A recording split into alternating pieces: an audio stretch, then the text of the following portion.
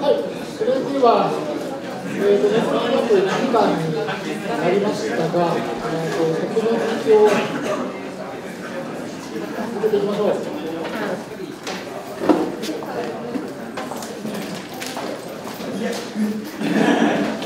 えーと先ほどの時間では、その本積分の2つのパターンのうち、あの積分区間が有限でない場合というのを使いましたが、えーと今度はもう一つの、数がその積分の有効にない場合について説明をしたいと思います。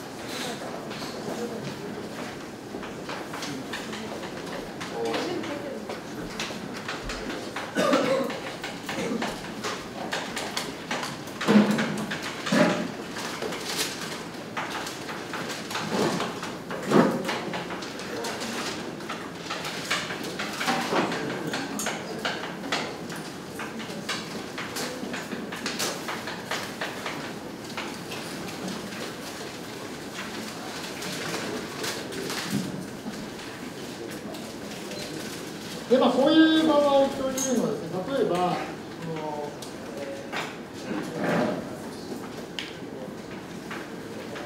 まあ fx、えー、というのは、まあ、x が a に正の方から近づくときに、まあ、例えば発散する、まあ、発散するときなどがあります。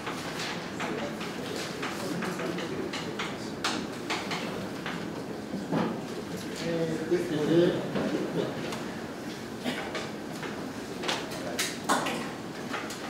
まあ、図で書きますと、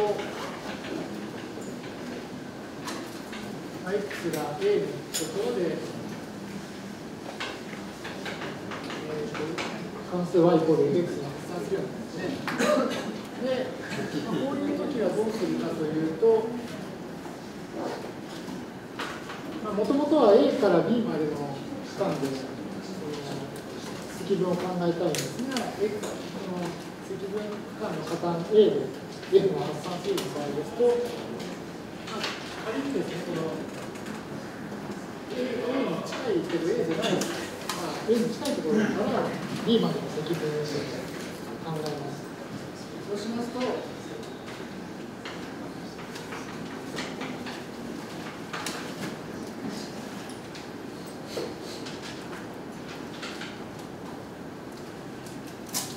ず A から A プラスイプシロン、イプシロンを正規を与えとしまして、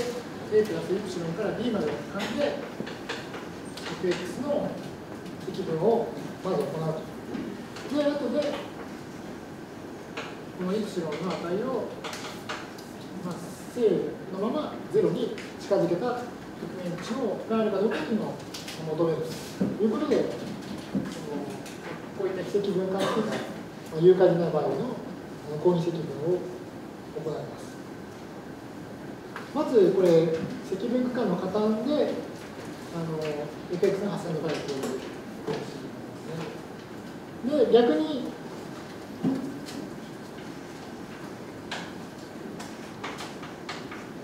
積分区間の上端でですね、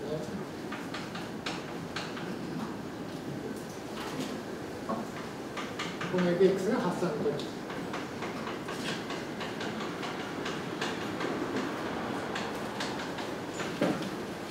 も、まあ、同じように考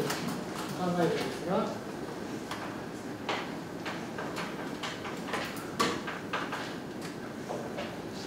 えー、とまず、これ A から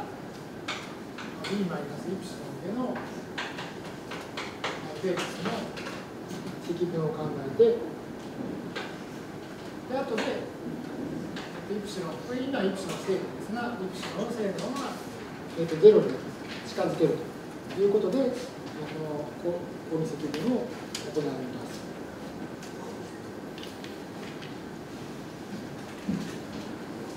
でまあ、これらの計算を行うことで、もし、えー、と極限値が存在する場合は、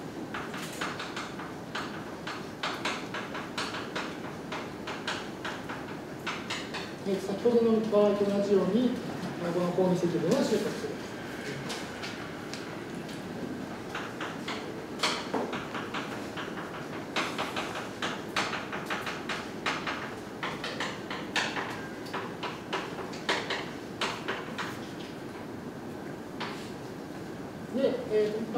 まあ、こういう積分が収束しない場合も、こ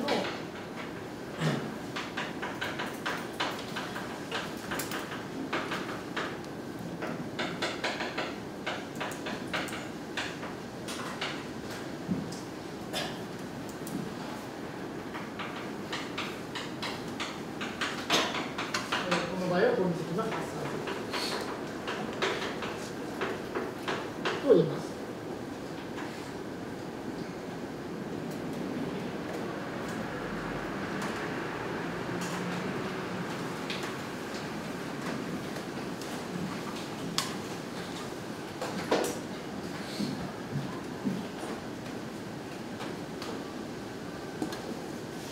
で、えーとまあ、今の2つのパターンはその積分区間の、まあ、上端もしくは下端のいずれかが流流解でその関数が流解積分関数が流解でない場合の話でしたけれどもその、まあ、最後のパターンとしてはその積分区間の両端で流解でない場合も、まあ、同じような考えです。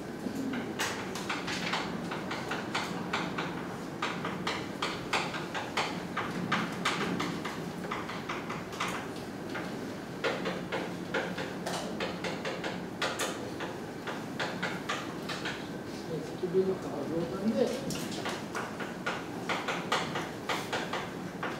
流解でない場合も同様になる。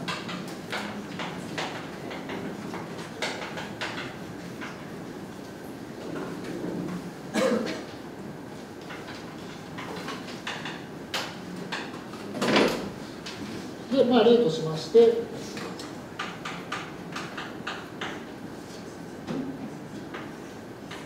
0から1までルート等の x かける1マイナス x の dx という、まあ、関数積分を考えましょう。これ、まあ、見てわかるように、その分母は x が0と1の時に0になるので、そうすると、x が0と1の時に、この積分関数が発散することがわかります。で、そのちょうどですね、それが、あの積分関数が発散する点が、まあ、積分間の両端に当たっているという時なんですが、えーこの際も、えーと、この時はですね、うんとでまあ、A から B まで、えーと、この積分関数積分を計算するんですけれども、で、まあ、A、A は、0に正の部分から力を当てる。それから、まあ、B は1の1に、えー、6の部分から近づけるというふうにして、極限、えー、値が存在するかどうかを調べます。まあ、こういった形で、こういう積分を行います。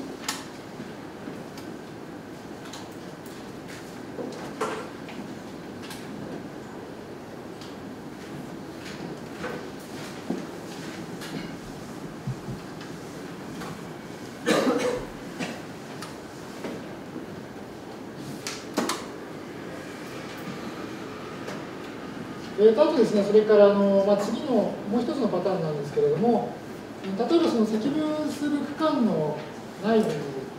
今度は区間の内部に誘拐ないという関数がある時というのもあります。でそういう時は、あのその誘拐、積分関数が誘拐でなくなるような点、まあ、しばしば特異点と呼んだりしますけれども、そういった点で、その積分区間を分割して計算を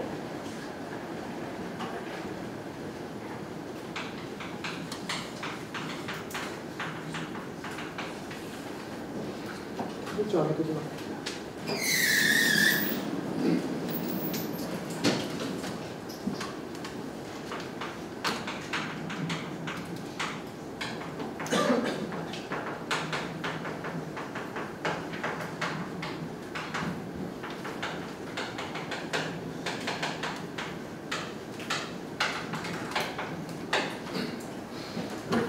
はい、区間外部に有害でない点があると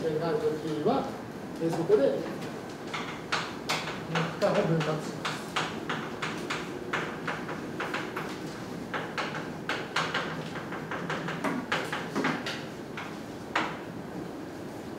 でまあ、ちょっとこれもあの教科書にあると思いますが、計算例なんですが、マイナス1から1まで、えー、と、x の絶対値の2分の、まあ、積分です。で、とまあ、この関数なんですけれども、まあ、x が0のところで、えー、と分母が0になりますので、発散するわけですね。で、えー、ということですね、とりあえずその x がこう0を境にして、えこの積分の区間を分けます。まずマイナス1から0の単位で、えー、ここの関数を書くんですけれども、これ、x の絶対値の2分の1乗という、えー、項が分母に来てますので、x が負の範囲では、これは、えー、マイナス x の2分の1乗で一方で、えー、と x が0から1の範囲では、この関数は、まあ、x の範囲 x を2分の1乗と書けばいいですから、こういう形で書くことができます。でそうしますと、え、今度はそのそれぞれの項の積分を考えますけれども、今度はそれぞれの項が、あの端点でですね、その積分関数が発散していることが分かります。例えば最初の項ですと、積分間がマイナス1から0ですので、x が0のところでこれあの発散するわけですね。あと、えーと、後の項の積分では、やはりこの x が0のところで発散しているということで、これをこれはもうもうそれぞれがの先ほど述べた形での公認積分になりますので、そのように書き直します。で、最初の項は、えーまあ、マイナス1から、えー、と b までの、マイナス x の2分の1乗分の dx で、まあ、b は、えー、0に負の方向から近づける。で、えーと、2項目の積分は、A から1までの x の2分の1乗分の dx の積分で、まあ、A の値は正の方向から0に近い。そういう形では、この積分を計算することになります。で、えーと、それぞれのこの積分関数自体に対しては、あのここですね、このそれぞれのあのリミット記号の中での積分自体は、これ、普通のリーマン積分ですので、あの普通にあの原子関数を計算してよいことになります。で、そうしますと最初の方は、えっと、まあ、一つ目の記号がそのままで、えーと、原子関数はどうなるかというと、えー、マイナス2かけるマイナス x の2分の1乗で、これがマイナス1から1まで。で、2項目は、局面の記号はそのままにしておいて、原子関数は 2x の2分の1乗で、えー、積分範囲がまあ A から来た。あとはあの、ね、普通の、えー、計算を行えばいいわけ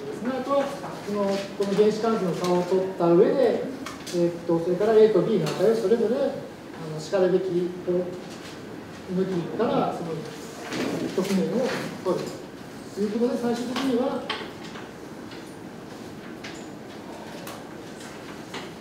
えー、収束しまして、極限値を持ちまして、どちらの積分も極限値を持ちまして、えー、その値は4というふうに計算ができます。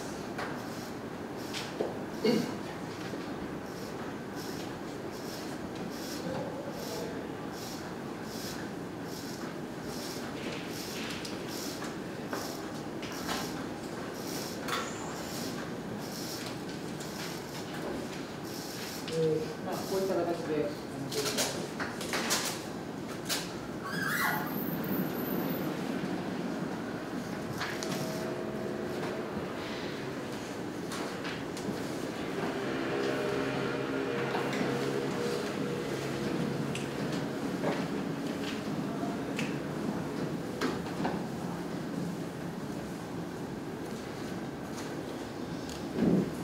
それからそ,、まあ、それからいくつかその例題をあの示しますけれども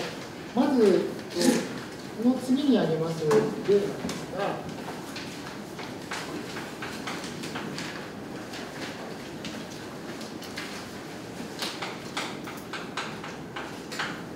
えー、これはあの教科書の112ページにありますありますがあの例題というふうにあのてるわけではなくて、えーと、その本文の中で書かれている注意ですが一応説明しておきます。えーと、とこの例ではあの、まあ、その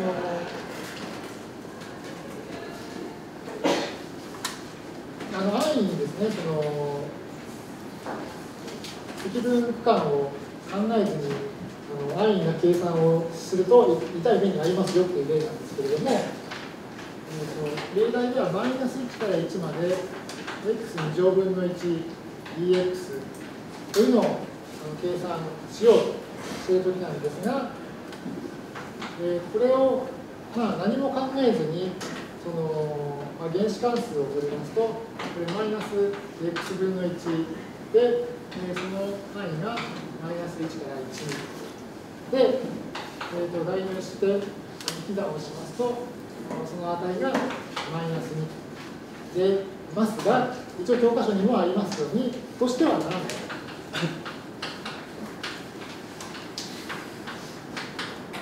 えー、というのが、まあ、一応ここでの教訓です。で、えーと、まずですねその自分の計算が果たして正しいのかどうかというのはかっていうのはあのいくつかのあの手がかりからあの正しさっていうのは判定できますので、えーとまあ、自分で計算を行った場合にはそういうあのミスがないかどうかってよく確認してみてください。でまずこの計算からですね誤りのとして一つ分かることはとまあ、この非積分関数ですね、この非積分関数っていうのは、あの x2 乗分の1なんですね。で、これ、あの、えっ、ー、と、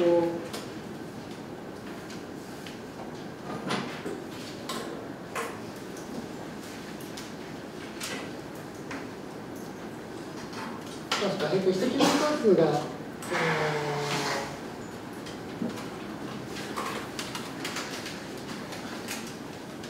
あそうか常にあの正この積分範囲では常に正なはずなのにこの積分があの負になるということはあのありえません。えーと、積分関数が、えーと、負でなければあのその積分の値も、まあ、負負にはなりえないというのはあの定積分の基本的な数字の一つですから、まあ、こういう値が出た段階であのこの関数に対しての積分に対しこういう値が出た段階でその何か間違っているということに、まあ、気づいて終わります。というのが1点ですね。それから、えーと、もう一つは、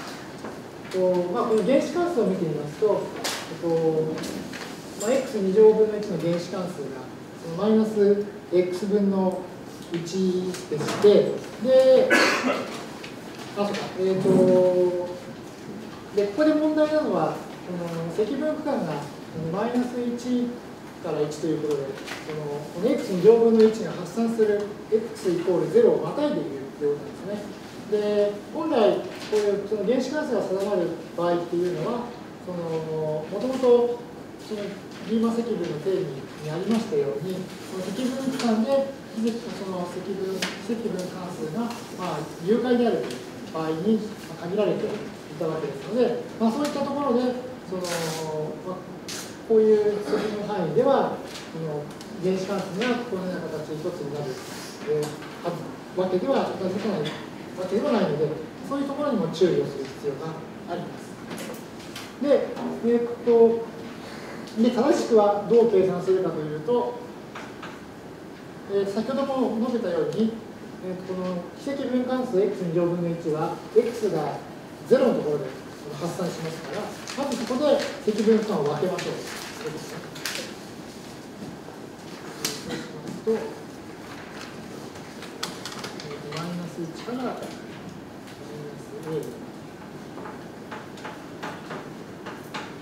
で、まあ、マイナスと書きましたので、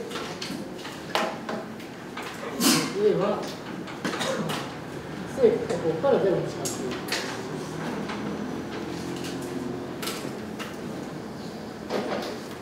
でそれに、まあ、B から1までの dx で B, B もまた正の方向から0に近づく。まあ、こういうあの2つの積分の和に分けまして、で、あとはまあ、この中は普通の積分を行えばいいので、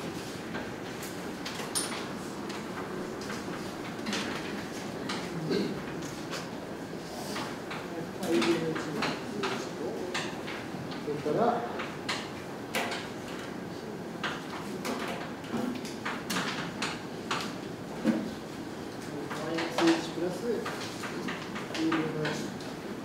ということで、えー、と実は、えー、これ A に、まあ、正の方向から0に近づいていますから、この方が、まあ、正の無限 B 分の1についても、正の方から0に B を0に近づけますと、無限大の方向に発散しますので、で結局この積分は、この積分は発散する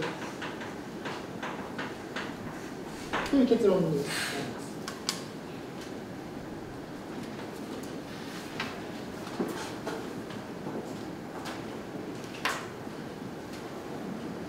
えー、というようなあのことなんですが、まあ、あの積分間と、あとその積分関数の発散、入会か否かということに気をつけていれば、あのそれほど問題は起こらないんですけれども、えー、とミスをするとこういうことにもなるということで注意をしてください。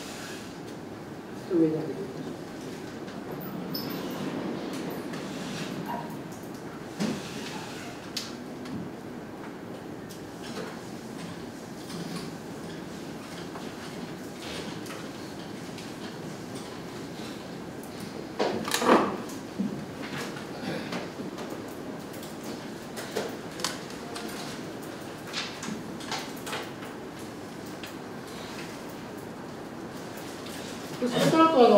もう一つ同じような例題があっていきます。これはあの教科書の112ページにあります例の3.24という例で、えー、この例題では、マイナス1から1まで、x 分の1をまあ、積分しなさいということなんですけれども、えー、これもやはりその何も考えずにログ x を、まあ、あの原子関数に持ってきたりすると,、えーと、誤ります誤りに陥りますという話で、まあ、これも同じように積分区間を途中で分けてで効率積分をしましょうというで実際にはこれ x イコール0のところで、まあ、積分関数が発散しますからマイナス1からマイナス a までの x 分の dx で、a が、正の方から0に近づくようにすると。で、もう一つは、b から1までのの dx で、で b これも b が正のから正の方向から0に近づくようにします。で、えー、そうしますと、まずこの中の積分については普通にあの原子関数を使ってレシピを求めていいですから、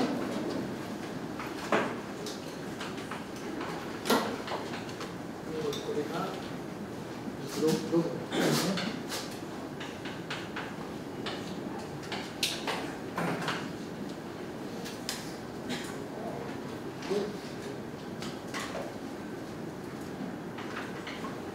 まあ、次の積分も同じように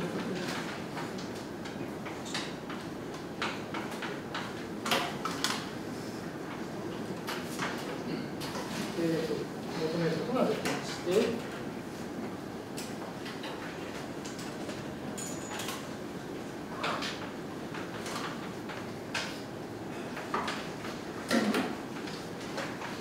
計算的には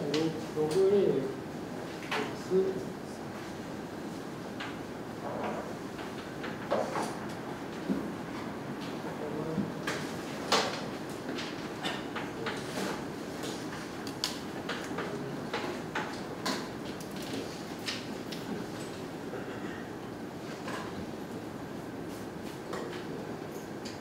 となりますと、実は、えー、とこの部分ですね、この部分、最初の方は、えー、とログ A を数から0に近づけるので、負の無限大に発散します。で、えーと、マイナスログ B はこれ、えーとまあ、正から0に近づけるんですけども、これマイナスついてますから、これ正の無限大に発散します。ということで、あのまあ、数の無限大に発散するものと負の無限大に発散するものの和ですので、まあ、結局、不定形になって、まあ、あの答えは、まあ、求まらない。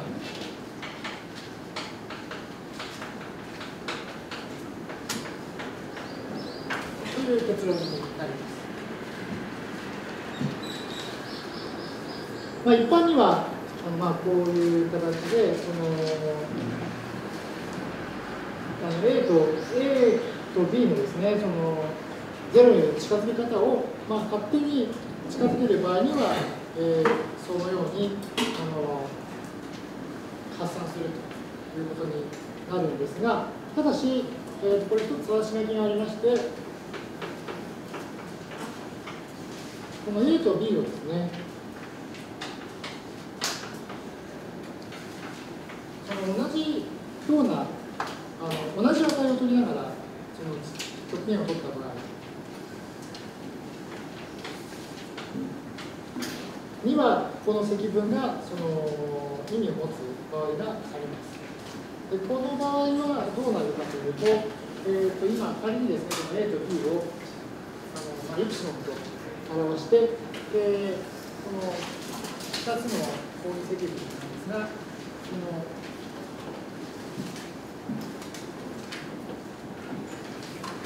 積分区間の0でのその近くですね、この近づき方をこう同じ2つの積分のその積分区間の0への近づき方をこう同じく揃えてみる。えー、そうしますとあの、この積分に関しては、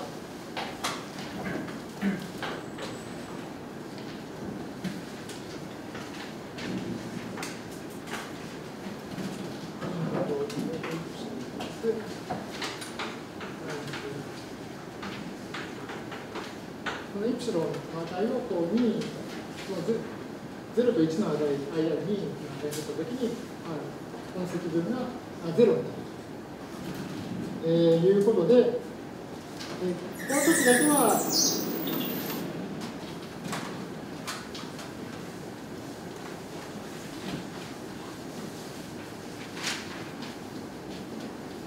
えー、と実際にその好きな極限極限を取ると、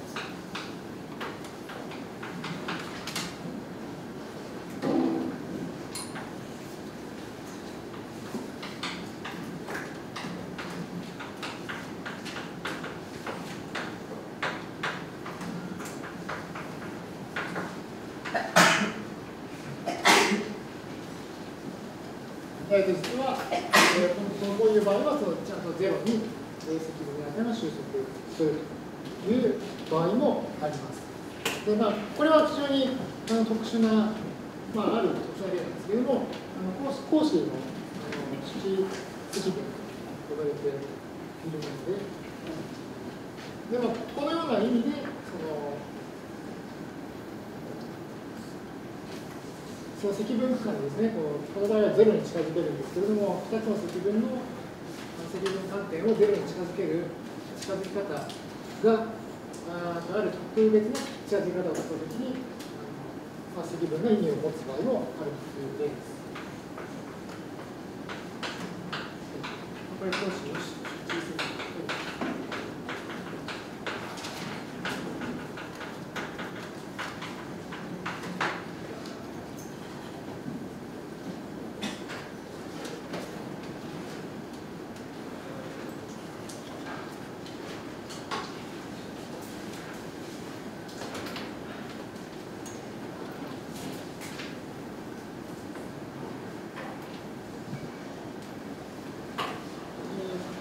一応あの積分区間ですねこのあの積分関数が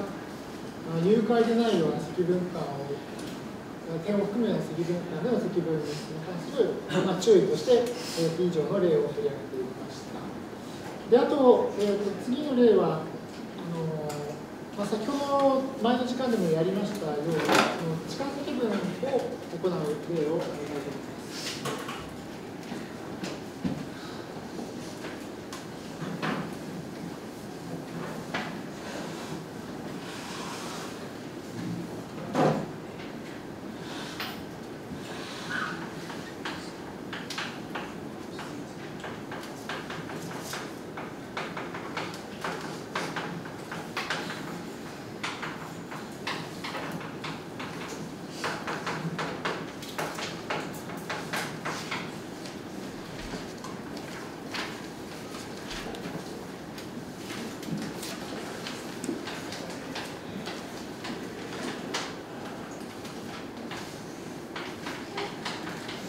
えーと、実はこれあの先ほどですねその最初の例題で挙げた、えーと、ルートの x 過去1枚と積分の1を、まあ、0から1枚の積分をしようという話でしてで、えーと、これもあの前の時間でやりましたようにそのまずはその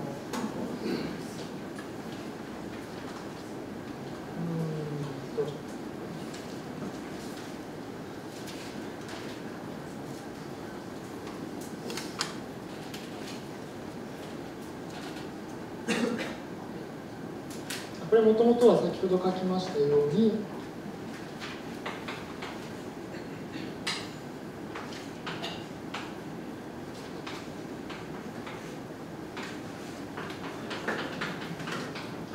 まあ、A を、ま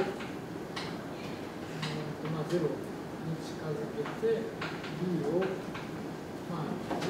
に0から近づける、まあ、こういうやり方だったんですけれども、まあ、この中身ですね、この中身の積分については、まあ、地下積分を行ってよいということなので、えー、と実際にやってみます。そうしますと、まあ、今は t を、えー、ルート x と置くことにします。そうしますと、dtdx が2分の1で0だで、あと積分の単位なんですが、えー、x が0から1まで入ったときに、金の積 t の積分の単位が0から1までということになります。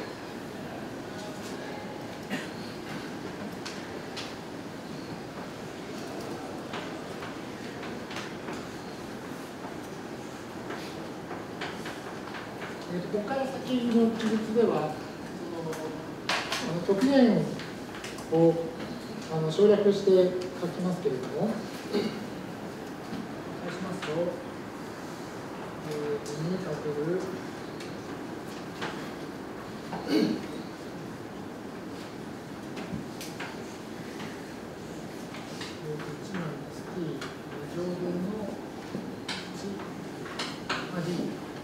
まあ、近づき分やと、まあ、t に置き換えると、まあ、こういう形になるわけです。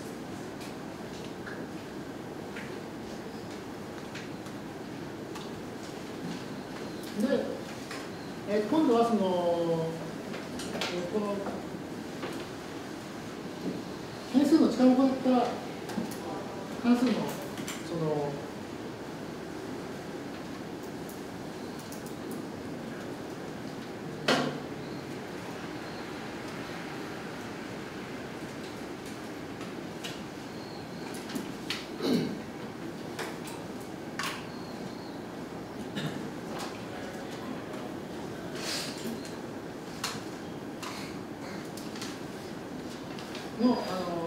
本積分を考える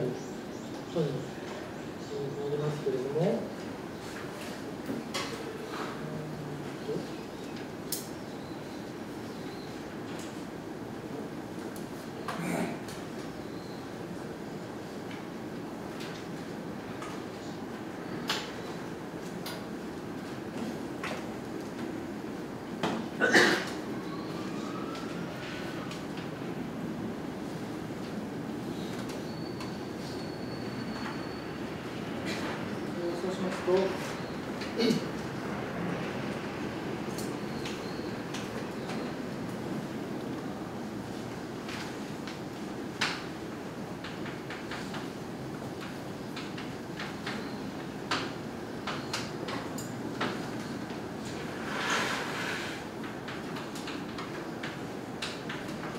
これなんですが、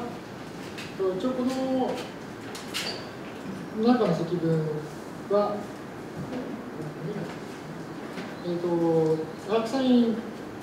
t です。あります。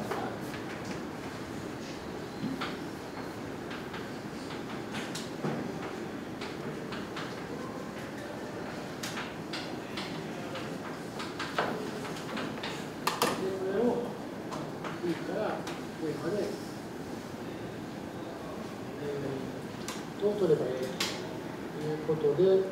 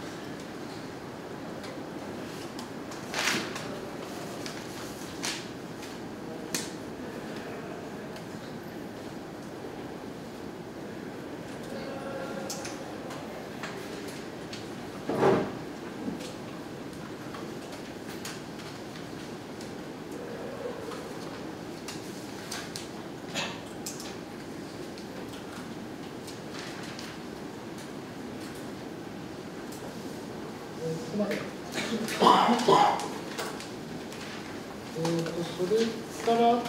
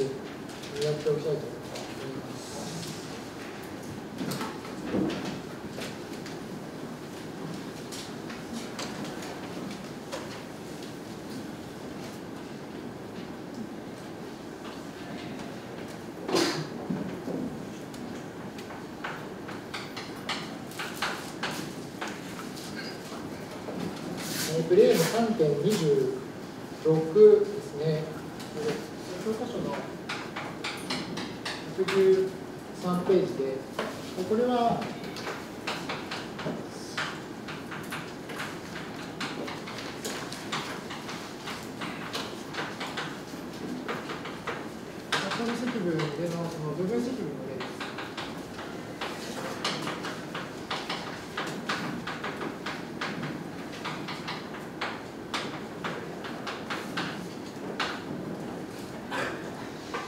で、え、と問題を書きますと、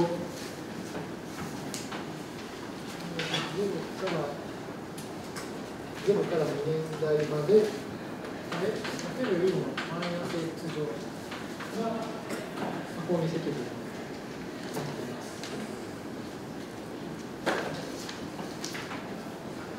で、え一応もうあのここではその、まあ、極限のあのリミットの記号を、まあ、外してそのまま書いてしまいますけれども、えー、ここでは x を、まあ、f として、まあ、e の x を、まあ、g' と置いて、まあ、部分積分を行いますと、マイナス、さらにマイナス以上。の、えーとまあ、0からなりますね一つでそれから0から年代までのマイナス e のマイナス x 乗の成積まあ、こういう形でその、まあ、部分積分に使いはできます。もちろんこれはあの後で格言を取るという意味がありますのであの注意してください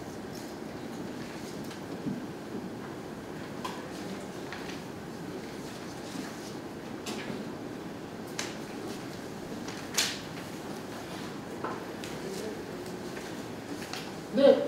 えー、実はあのここでですね、あのこの値の計算で一つあのある性質を使うんですけれども、ここで使うのは、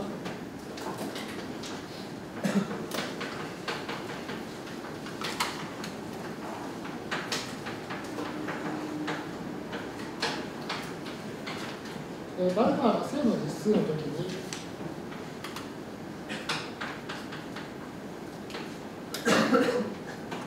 x のアルファ乗と a の x 乗があります。で、えーこれは実はあの e の x 乗の方がずっとあの早く大きくなって、まあ、0になるという性質があります。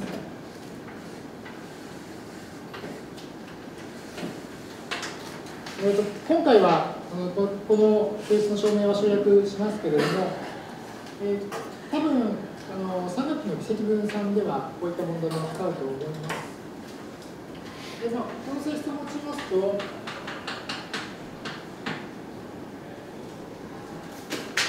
実はこここの部分こういうですね、えーと、マイナス x かける e の実乗なんですか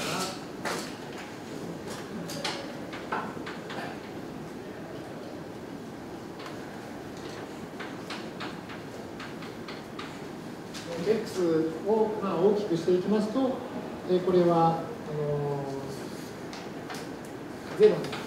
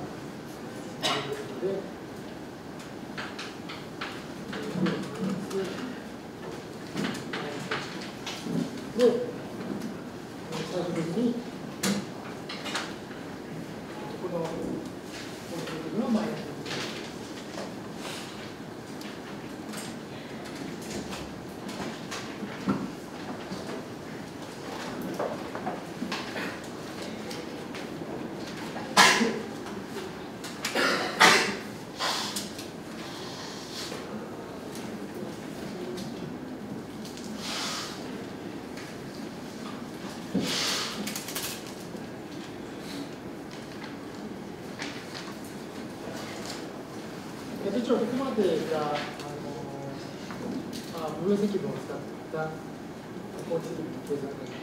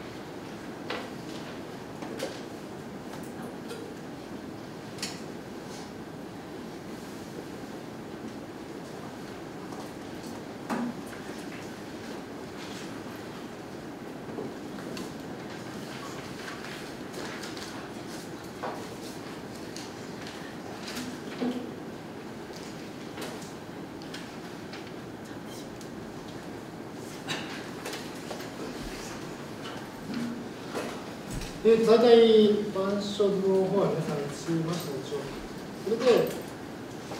一応あの、まあ、この授業で取り扱うその積分の内容については、このぐらいにしたいと思います。ただし、あのまあ、本当はその、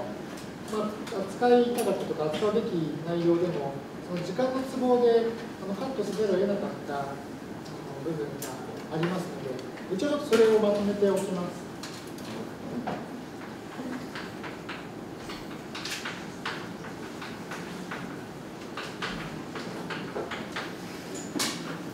えー、まあ、教科書で第3章ですね。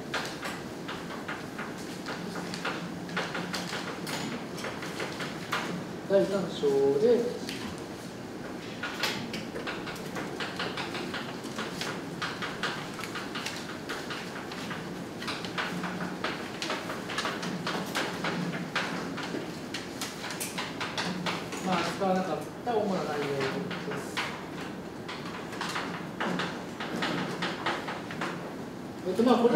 中にはその必要に応じてその皆さんが勉強する必要のある部分が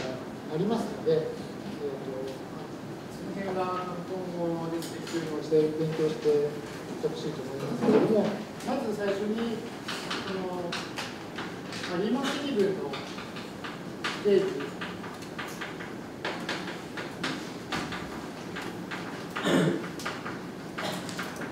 は、えーと、この授業ではスキップしました。で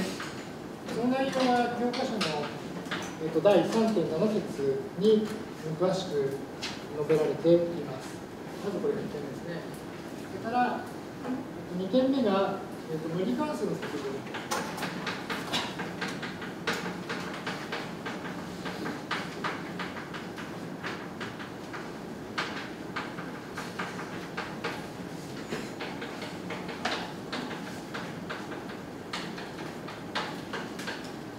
これは教科書の第3.6節に、えー、とあります。であの結論から言うとそのうんと積分に関しては原子関数が求まれうまく求められない場合とたくさんありますけれども、まあ、いくつかの場合にはあのいろいろな工夫をやるすることによってそのあの積分が計算できるという場合がありますのでそれは皆さんの各自の需要に応じて確認してください。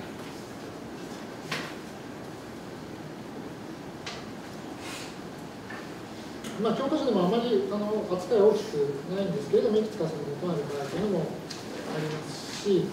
まあ、あの本人の教科書以外にもいろいろなやり方を載った載せた本というのも出ていると思います。えそれからと,、えー、と3点目はその今日あの話をしました抗議積分に関しまして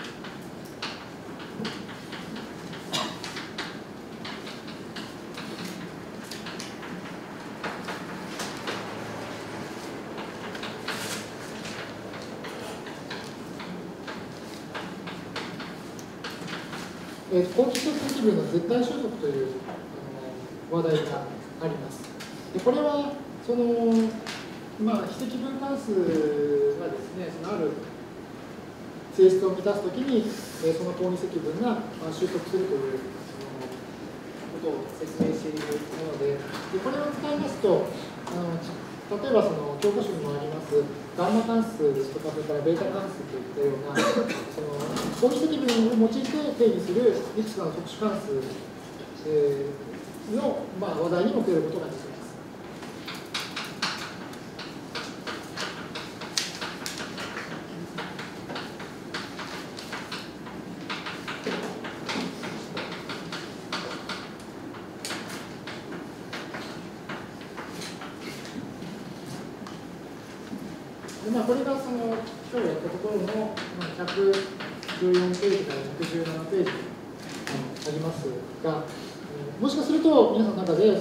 後々こういった特殊関数を扱う必要に迫られる人も出てくるかもしれませんので、そういった人たちは、あのこの辺のこういう適度絶対収積ですとか、基本的な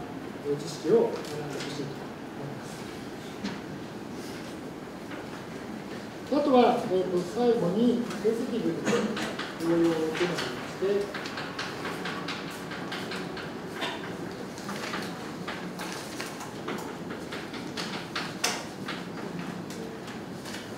と、この教科書ではその特にその曲線の長さを扱っています。の曲線ですね。曲線の長さの計算を扱っています。えー、これが3.9節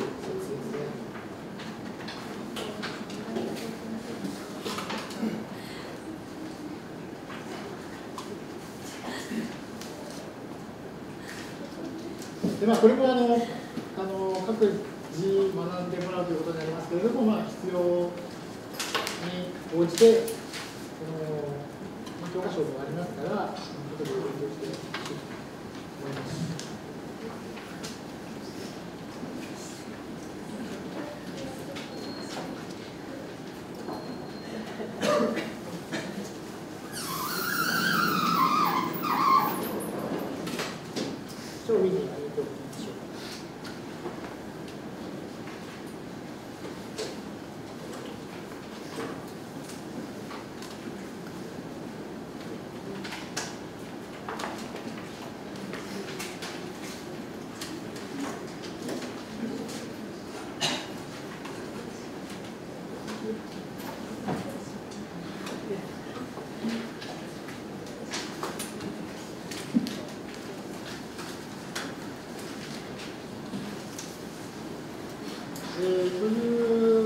で一応あの、